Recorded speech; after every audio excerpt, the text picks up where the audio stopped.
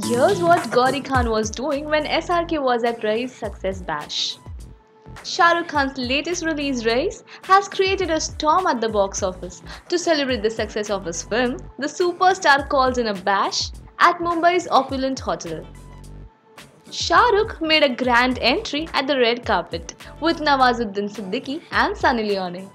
The trio entered in the same jeep using SRK in the film. The team then interacted with the media and later the dance floor was open for one and all. Shah Rukh Khan's friends from the industry and well-wishers dropped in to congratulate him for his film. The one that was expected to be at the party to celebrate King Khan's success, his lady love Gauri Khan was absent from the scenario. Reason? She was busy partying with her dear friends at another posh hotel. Her guest list included Karan Johar, who came in with his mother, Hiroo Johar, Shweta Nanda, Jaya Bachchan, and few more.